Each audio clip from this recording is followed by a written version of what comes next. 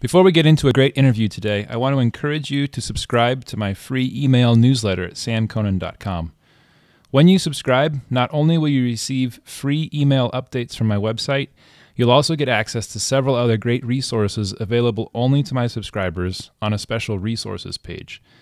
On that page, there is an ebook, The Goodness of the Ordinary Life, which explains why ordinary life is worth celebrating rather than escaping. Another ebook called Awakening the Moral Imagination Through Fairy Tales, a book about literature and in, in educating and engaging the imagination, especially of children, but also of adults.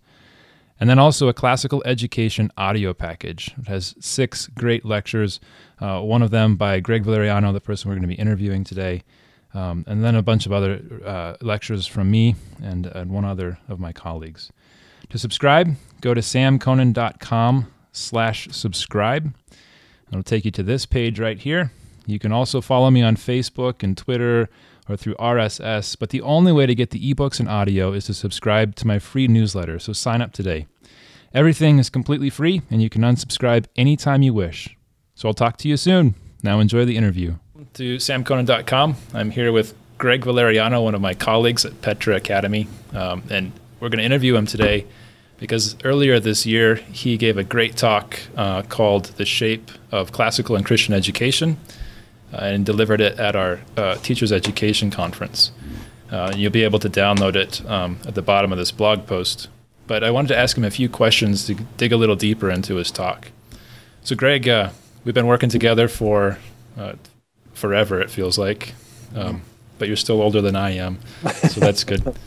Uh, but just tell us a bit about your background. You have a pretty, uh, pretty eclectic background. Sure. Um, let's see. Education-wise, I went to a public high school, so I had a public education. And um, after that, I went to a Bible college, a small Bible college in New Jersey. That is now uh, defunct, and I was the last graduating class, so it's quite an academic achievement there. Yeah. Um, after that, I went to Wheaton and did a master's degree. It, it was, as you say, eclectic Bible, uh, theology, church history, philosophy. Mm-hmm. Just tried to take as many courses as I possibly could. And then after that, I went to Princeton Theological Seminary and did a master's of divinity there. And that took a, took a few years to get done. and then after that, I spent some time both teaching and studying at L'Abri Fellowship in Switzerland and nice. now I teach, well, t- as you said, I've taught here at Petra. I think we're going on 11 years now. Um, yeah. And I also uh, teach at uh, Montana State University, and that's been about 10 or 11 years as well. So, yeah, great. So, yeah, so that's about, education wise, that's about it. Sure. For, for those of us who don't know, um, some of our audience may not know, can you tell us about L'Abri a little bit? What were you yep. doing more specifically? Sure. Uh, L'Abri Fellowship was started by Francis Schaeffer, Francis and Edith Schaeffer, his wife. And it was started initially for, uh, it was a kind of a missionary endeavor to kind of the lost, I don't know, generation of hippies uh, that were coming over from America into Europe to travel and, and whoever else uh, that was coming and it was an outreach to them. And Schaeffer tried to meet them on their own ground through philosophy and through art and literature and things like that. Um, so, so L'Abri has that background, and it still functions in that way uh, for the most part. But it's just a place for people to go and study and to learn, and but also to live in community. Mm. So it's a it's a unique educational experience. It's a unique place, and I highly recommend it to anybody who wants to go. Yeah, and from our conversations, that experience uh, seems to have definitely shaped you.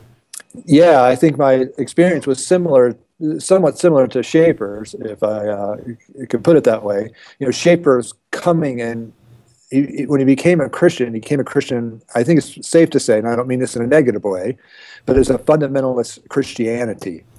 And but he started to see that this fundamentalism, there was plenty of things wrong with it. And one of one of the things that was wrong with it was how they engaged or showed um, lack of engagement with culture around them.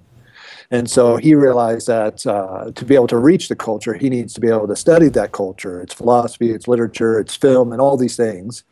And it's kind of I've had a similar experience when I started reading Schaeffer and I went to L'Abri.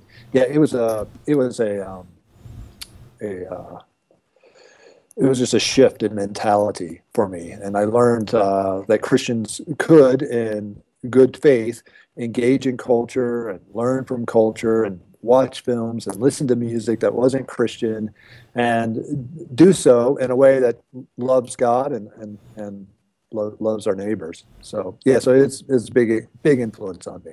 Excellent, for sure. And that um, all of that influence shows up in this talk that you gave. Mm. Um, so let's get, let's get into that talk a little bit. Sure. Um, we're just gonna. I'm. I just phrased some questions, framed some questions based on the talk, and um, sure.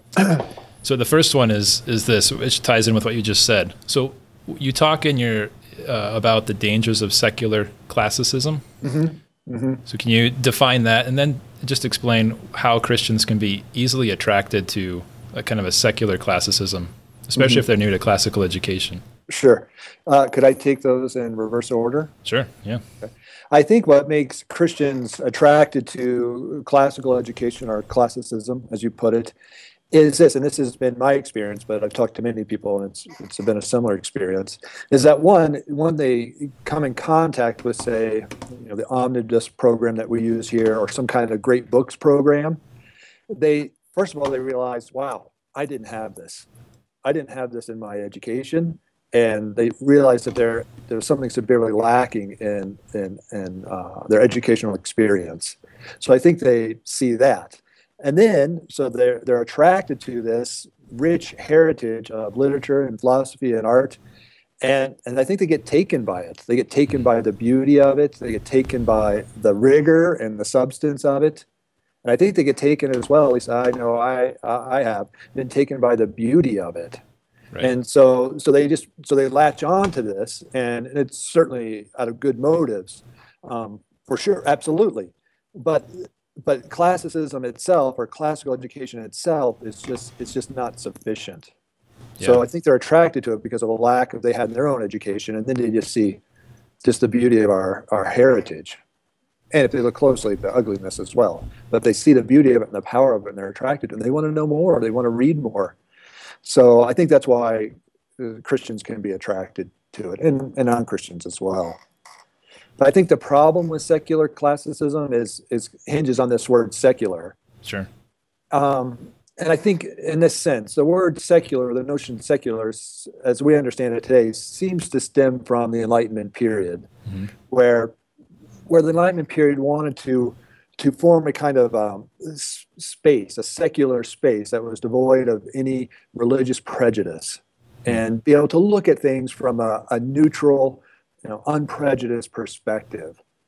And and that's well, from that's a problem, and I think it's a problem in two ways. One is one is there is no neutral perspective. We all come with presuppositions. We all come, I don't know, this is the right way to put it. The philosophers might say theory laden perspectives, you know, however you want to say it and so there's no such thing as a neutral perspective and, and i think most people today would agree with that so that's one problem and one danger um, sure but the other is that it's just simply i mean even if there were a neutral perspective that's not an option for a christian right a, a christian has to view things from a christian perspective from a biblical perspective or if you will, a biblical worldview. So, so the word, so the, the approach of secular classicism just well, it just isn't adequate. Okay, and it, and it puts up a false ideal as to how we actually perceive things. So, so yeah, I think that's how to answer that question briefly. Okay. So, Thanks. So, yeah, yeah. So, so how is classical Chris, uh, Christian classicism different from secular?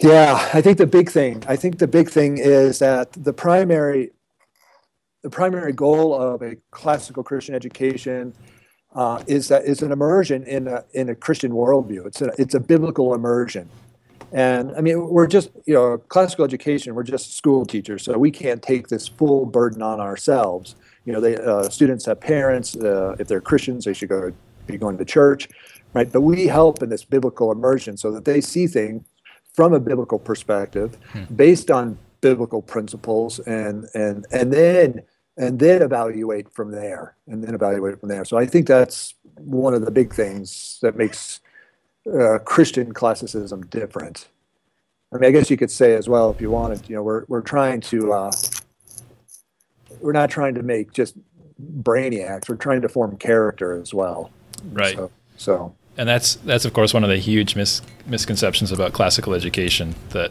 we're a bunch of elite elitist eggheads Yeah. and yeah, you know we have Latin so we're trying to get everyone into Harvard and yep. and really it's about shaping and forming character and uh, Yeah, shape- could- shaping yeah. loves.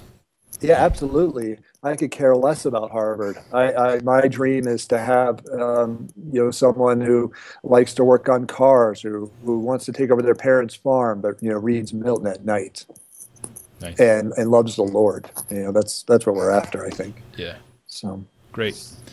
So uh, you also talk about um, Patrick Deneen and his Mm-hmm. critique in um, uh, First Things a while ago, and he Mm-hmm. he critiques the great books approach to culture, uh, Mm-hmm. which is exactly the type of approach we have to humanities.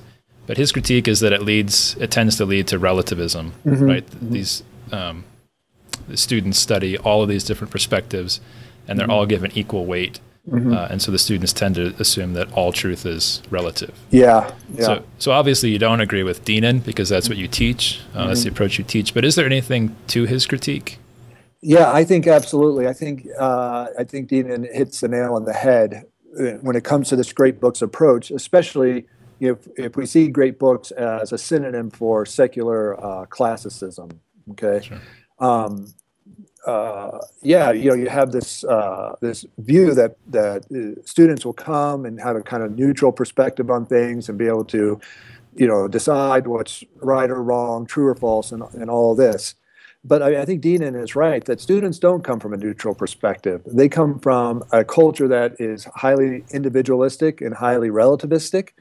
And so when they approach these texts, there are two things going on. First, like you said, they're they're presented as these kind of individual coherent wholes.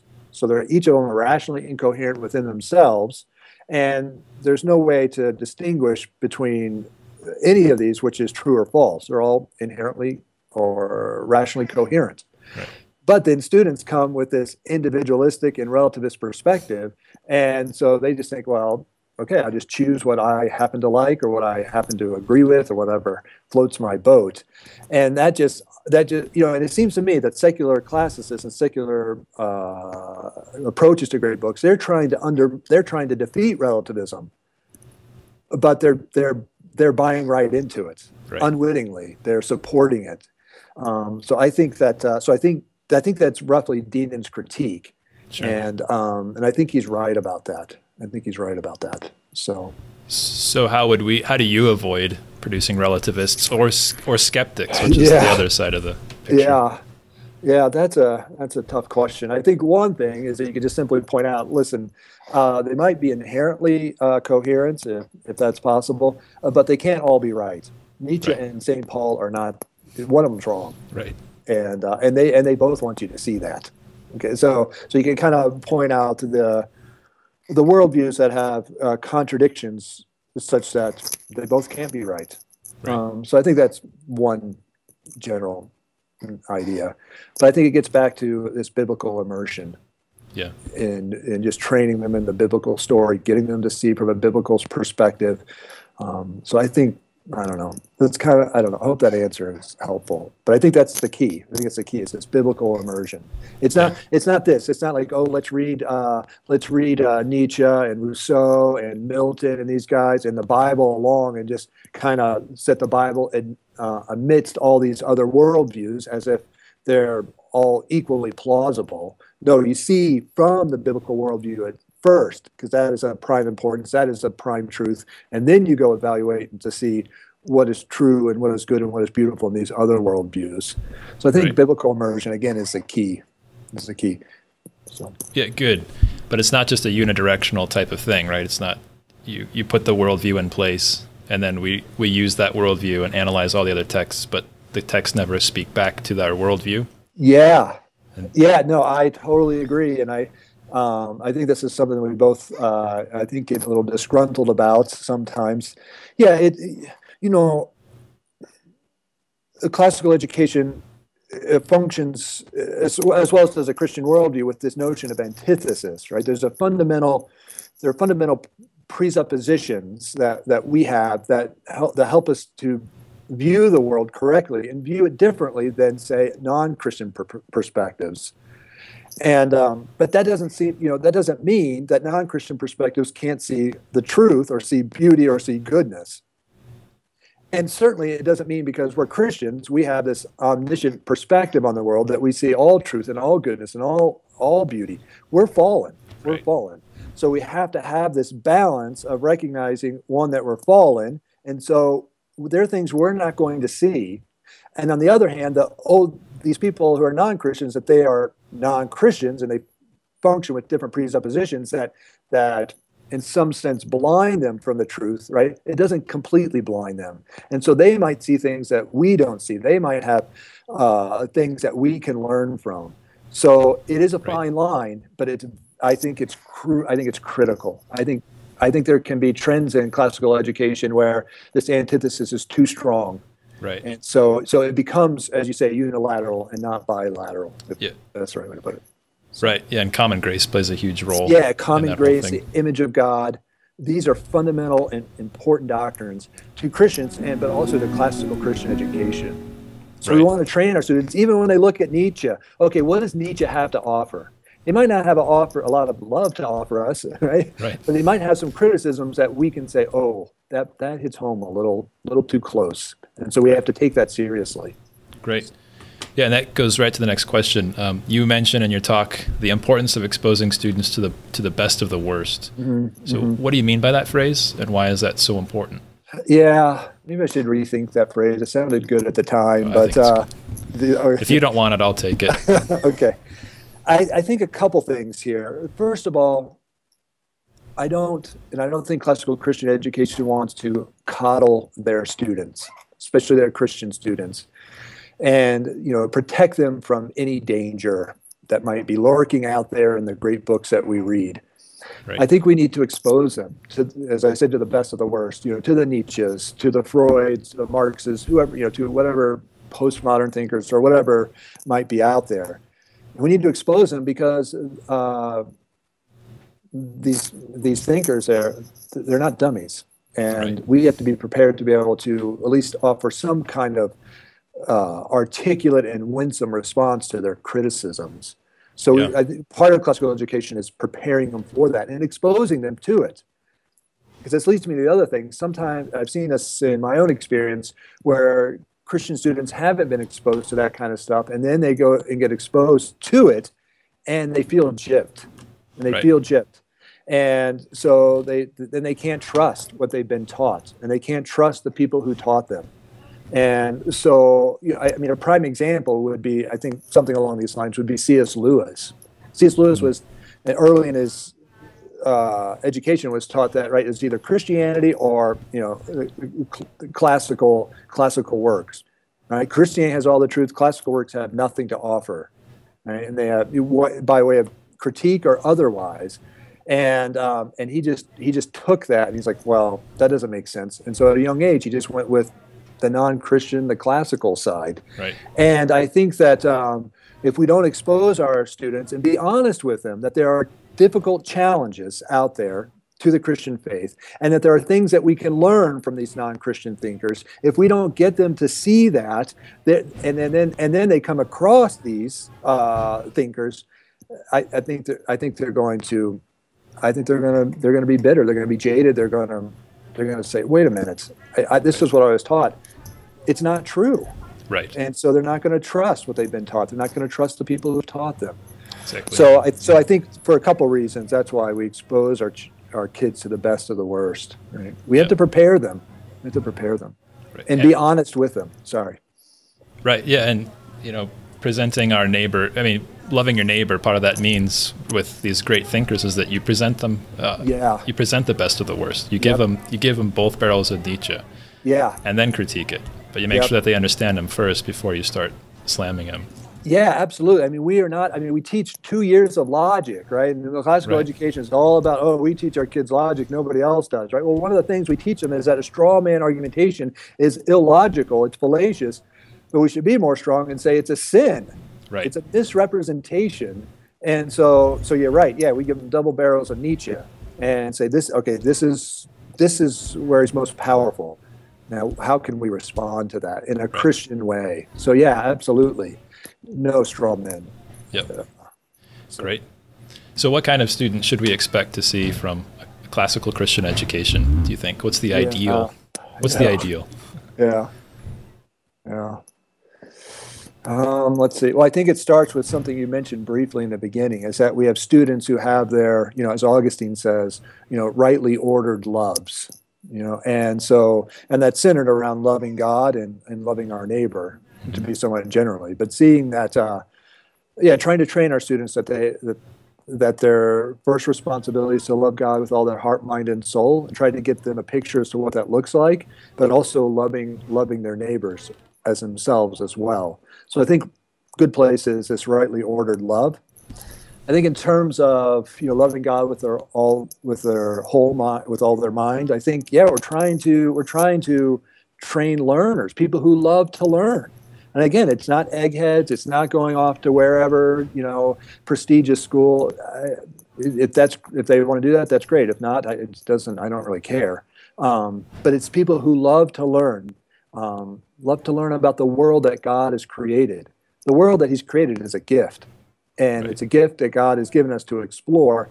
And so we we want to develop students who who have who have that that desire to learn, whatever it might be Right. could be could be whatever it might be so i think that's one thing but also i think we want people we want students who can who are winsome and uh, winsome witnesses for the christian faith not a bunch of you know pietists who just want to kind of you know just say jesus loves you and preach the gospel and then but that's it right That's not necessarily wrong with that but if that's it that doesn't go far enough Right. so we want people who are able to understand the culture around them and bring the gospel in a winsome way, be able to translate that gospel.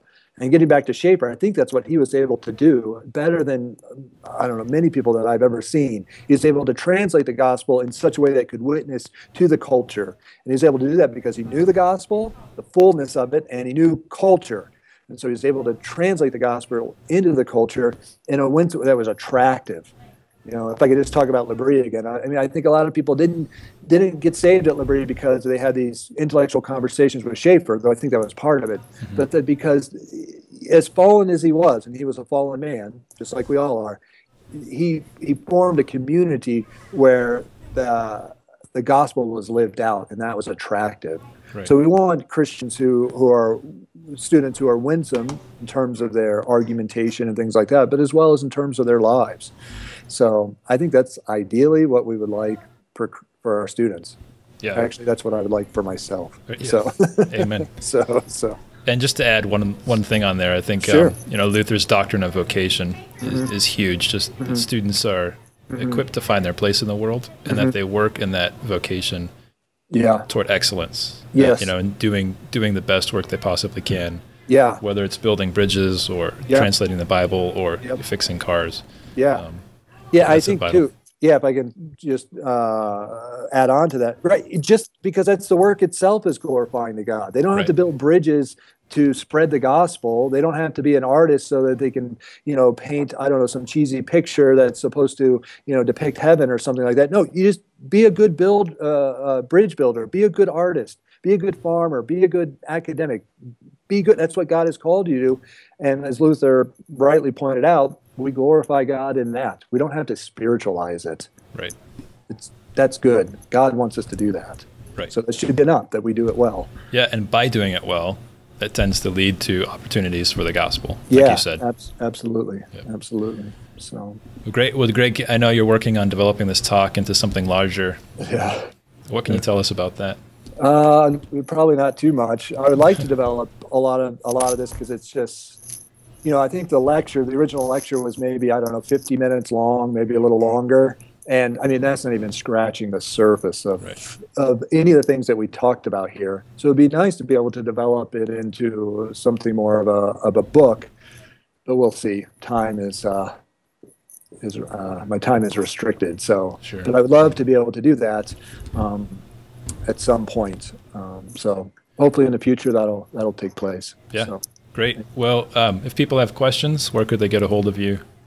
Email. yeah. Email. It's uh, Gregg V G R E G G B sixty six at hotmail.com. So Yep. you can email me there. Yeah, that's three G's. That's three G's. Two aren't enough, right? G R E G G V.